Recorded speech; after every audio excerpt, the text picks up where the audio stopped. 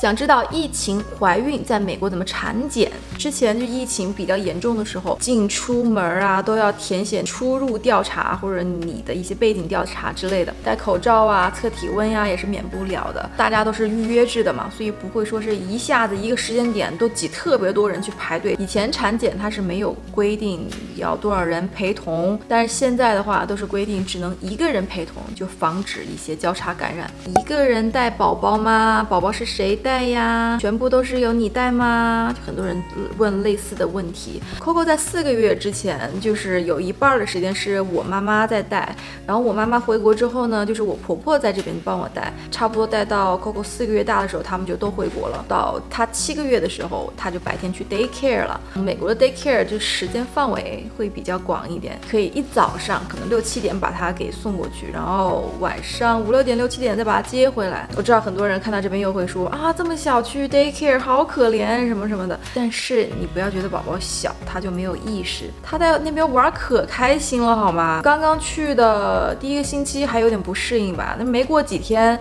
我去接他，他都不理我，他不想走的。而且我觉得宝宝在 daycare 里边学到了很多，就他七个月大的时候去上幼儿园，过了几个星期之后，我就明显发现他懂事了好多，他学会了好多东西。小宝宝就喜欢学大宝宝的嘛，比他稍微大一点点的宝宝在那边爬呀，或是在那边用手拿着吃东西啊，他也会跟着学，所以就是一个很好的学习过程。美国这边幼儿园啊，它是六周以上就可以送过去，好一点的 daycare 它是只收八个小朋友，所以这个名额特别的少。像这种小小班就特别抢手，一般可能都需要提前个一年、一年半的样子去定位才行。当然，我也不鼓励大家就是很小很小的时候就把小朋友送过去。我是建议大家，如果想送的话，六个月以上送是最好的一个时期。可能大家都习惯性的问，是你一个人带宝宝吗？我觉得问这个问题的时候，都有点刻意的把爸爸的这个角色、爸爸的这个职责给撇开了。我从来都不认为带小朋友是只是妈妈的工作，大家不要一开始就把爸爸从这个职责里边给划分开来。爸爸必须带小孩，爸爸必须得参与到带娃的每一个过程当中。所以这个问题呢，我只能说是我跟龙哥共同在带小孩。备孕的过程，二胎是计划内还是计划外？其实我跟龙哥没有很多这个备孕的过程，哥都觉得哎，差不多这个时间点到了，可以要一个小朋友了。过一段时间就发现哎，有小朋友了，所以二胎是在我们计划之内的。讲一讲生 Coco 的经历吧，这个我在 Vlog 里边有跟大家说到，所以大家去翻我的那个 Vlog。我觉得如果你在备孕或者不了解这个的话，可以去看一下。初次当宝妈觉得很累，想听听你的育儿方法方式。生二胎会请月嫂吗？哦，我先回答最后一个问题啊。美国很难请月嫂，特别是奥兰多这边，可能加州那边还好一点点。奥兰多这边就是没有什么资源，而且现在还是在疫情期间嘛，很不好请。今天下午我妈还有我婆婆就会过来，他们就已经来美国了。接下来的这几个月可能会帮我们一起照顾小朋友。关于小宝宝的育儿方式，这个就像我之前回答过的那个问题，我跟龙哥观点都是先顾好大人。然后再顾小孩子。如果你现在心情不好，状态不好，小孩子又哭了，该怎么办？第一时间处理好自己的心情。你要知道，小孩子哭一下，他不会有什么心理上、身体上的伤害的。但是如果你拖着一个身心俱疲的身体去照顾他，小朋友也会感到，哎，妈妈是不是有点不对？妈妈是不是不太喜欢我了？这个样子，你的状态。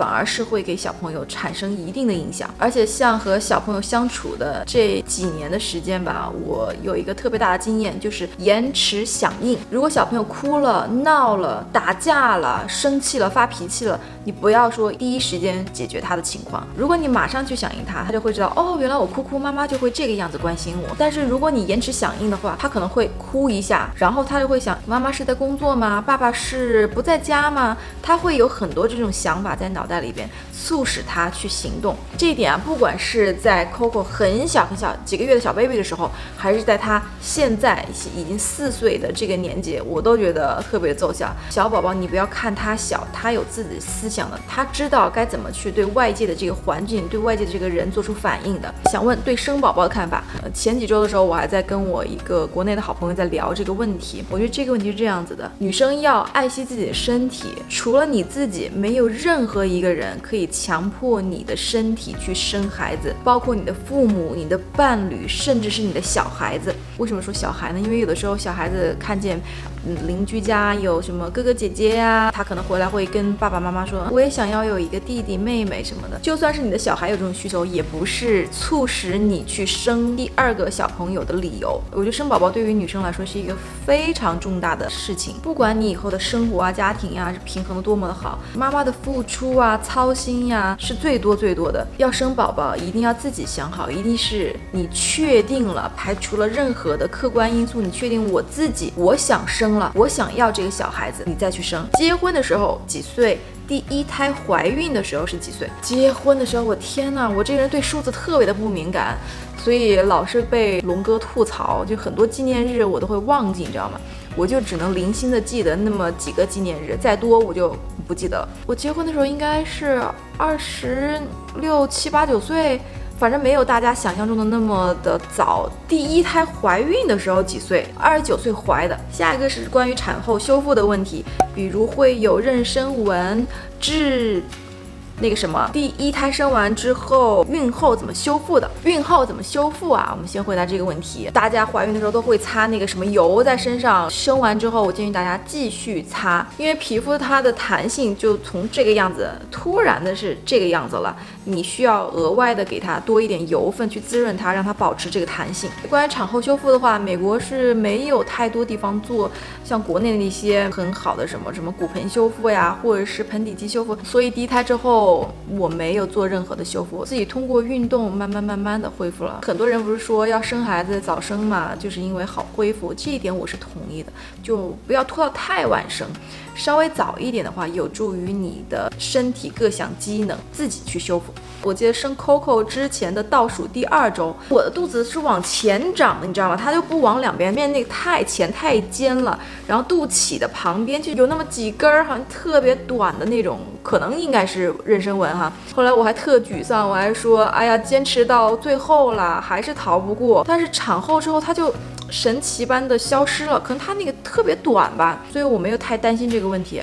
我觉得长不长妊娠纹可能跟体质、跟你皮肤的弹性有一定的关系。非常关键的一点就是你一定要保证你的宝宝不要太大，这样的话，其实你到最后生产的时候，侧切呀，或者是如果严重撕裂呀，也不太好。然后宝宝太大，长得太快，也是很容易把肚皮撑裂，呃，不是撑裂，就是撑的有那个妊娠纹出来。然后关于这个小朋友问的痣。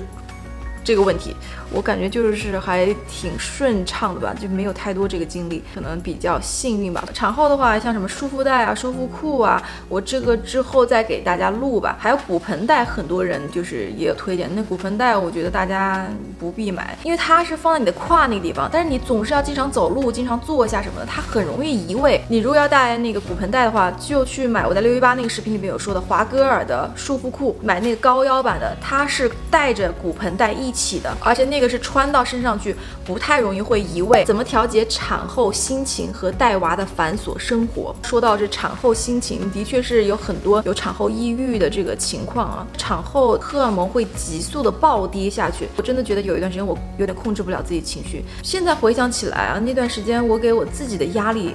非常大，我总是会苛责自己做的不太完美，再加上 Coco 小的时候他有湿疹，我会把 Coco 身上发生那些湿疹苛责到我自己的身上去。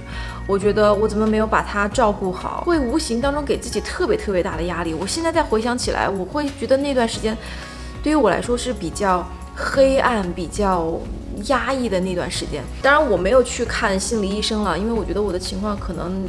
还没到那么的严重。我想说的就是，这个时候你一定要告诉你的家人，告诉你的亲近的朋友，让他们了解你现在的状况。关于家庭、关于感情这方面的平衡的话，我跟龙哥也是商量好，就是不管有没有小朋友，我们都要像。以前恋爱的时候一样，就比如说找时间呀，去约会呀，去干我俩喜欢的事情。现在有了小朋友之后，有一些事情会有局限性，比如说小朋友睡着了，我们不能够出去看电影，那怎么办呢？我们就换个方法，我们在家看电影，买点好吃零食啊，搞个 Friday night movie night 也挺好的。总比就是大眼瞪小眼什么都不做要强。但这种方法有好的，也有不好的地方。好的方法就是当下会很快乐，不好的地方就是有的时候可能你熬夜看电影、看剧，第二天一早起来又要弄小朋友，就会有点累。我现在就经常跟龙哥说，我说我俩是革命性的友谊了，现在已经升华成为了睡在彼此旁边的战友了。所以呢，就时不时的得互相 cover 对方的工作，你不行我上，我不行你上。宝宝什么时候都学什么啊？我其实没有太关心宝宝学什么这个问题。我觉得他小的时候就是玩儿呗，快乐就行呗。那现在小 Coco 他自己要求他特别想学舞蹈，然后就给他报了一个舞蹈班。这种学东西可能对他来说就不算什么完成任务，更多的像玩儿一样。只要他喜欢的话，那就去玩儿去学呗。出一期备孕加上孕期保健品、护理品的视频，这个也是在我的计划范围之内。我希望我能快点把它给做出来，希望可以在我生之前给大家剖出来吧。因为我现在孕晚期了，我。真的随时都可以生，所以大家就是时间上宽容一下我，我尽快好吧。终于最后一个问题，想知道三十多怀孕辛苦吗？有点怕。三十多怀孕不晚呢，现在大家都晚婚晚育，特别是国外，就三十五以上才会认为是高龄产妇。呃，像国外四十生娃的也挺多的，而三十多，我是对自己的这个身体还是挺有信心的，你身体都挺好的，大家不用怕。当然，有些人就是孕期反应特别大，吐啊什么的，的确前期会挺辛苦的。但是总体而言，我觉得大家不要想的太多了，最重要的还是平时要照顾好自己，管理好自己健康饮食啊，然后有去健身呀、保养啊这些。其实等到你怀孕的时候，你那些反应都会比较的好。还是那句。老话要提高自己的身体素质。OK，以上这些就是全部的这次 Q&A。录之前我真的很紧张哎，大家一直在催这支视频，我一看到大家催我就好紧张，我不知道为什么，可能就是很少做这种纯聊天的视频，而且很多问题就关于我自己的嘛，就感觉啊好紧张。但是录完之后觉得很轻松，而且像跟一个老朋友聊了很久的这种感觉，我自己也是。舒了一口气，觉得很舒服。希望大家喜欢这支视频。不知道我今天的回答跟大家印象中的 C C 有没有什么差别？好了，那我也准备去吃点东西，剪片子去了。希望尽快的剪出来这支视频。那我们下期再见喽，拜拜。